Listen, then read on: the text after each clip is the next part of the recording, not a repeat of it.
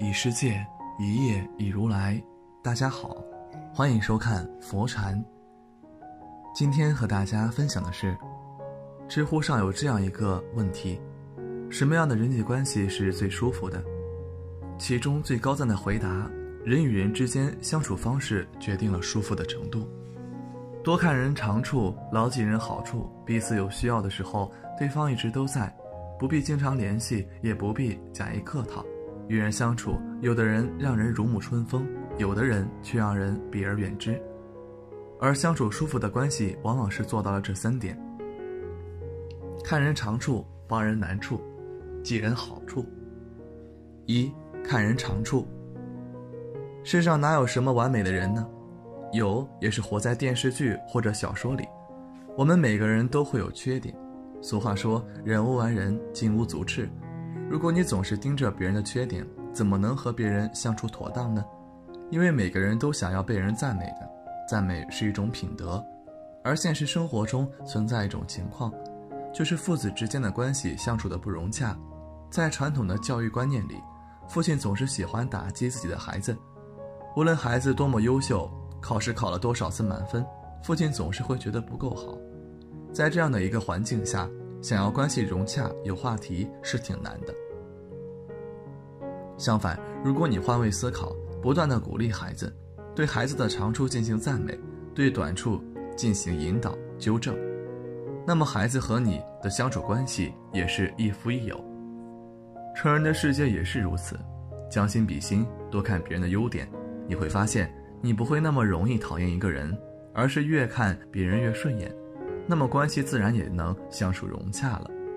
懂得用人所长是一项相处之道，只有懂得与人打交道、与人现长处的人，才能干出一番大事业。林清玄当记者时写过一篇关于小偷的新闻报道，本是平淡无奇的一篇文章，却改变了一个人一生的命运。在文章中，林清玄罗列了小偷的一系列长处，像心思如此细密。手法如此灵巧，风格这样独特的小偷，又是那么斯文有气质。如果不是做小偷，做任何一行都会有成就的吧？正是这句话，把这个小偷拉回生活的正轨上，改变了人生轨迹。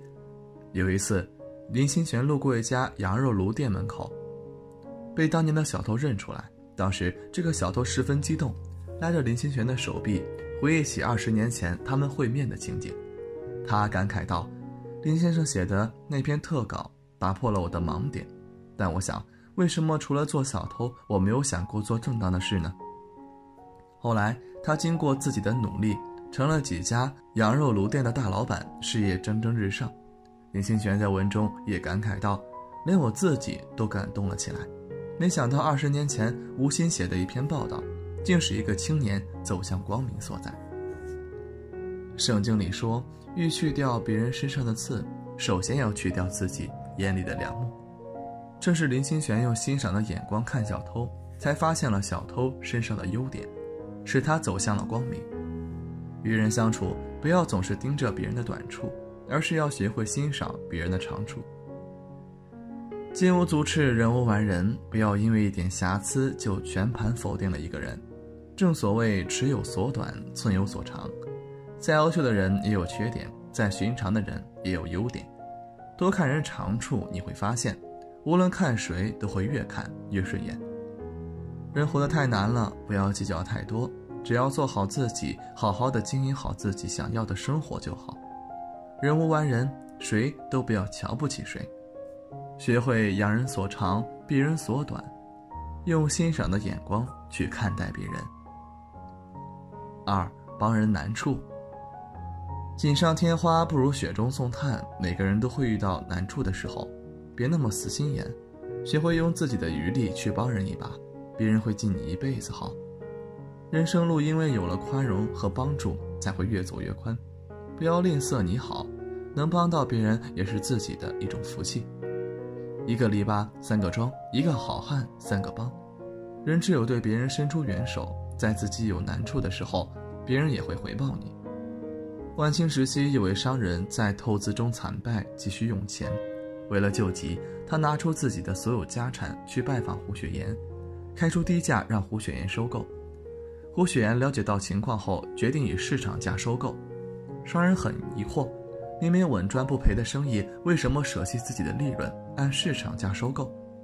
胡雪岩称自己只是暂时帮他保管这些抵押的资产，等他挺过这一关，随时可以来赎回属于他的东西。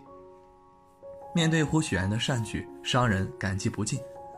商人走后，胡雪岩面对疑惑不解的手下，讲了一段自己年轻时的故事。当年他还只是店里的小伙计，经常帮着东家四处催债。一次，正赶往另一户债主家中，他遇上了大雨。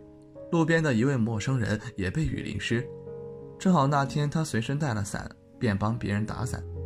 后来每到下雨时，他便常常帮一些陌生人打伞。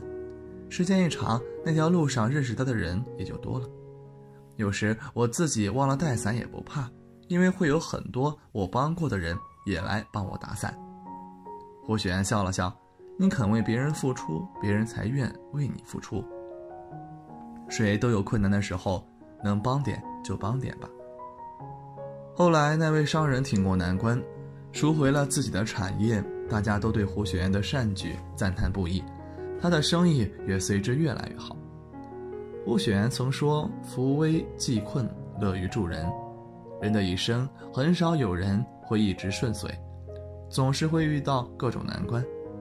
生活不是一座孤岛，人与人之间难免会有相互需要的时候。”你在别人需要的时候伸手拉一把，在自己需要帮助的时候，才会有人扶你一把。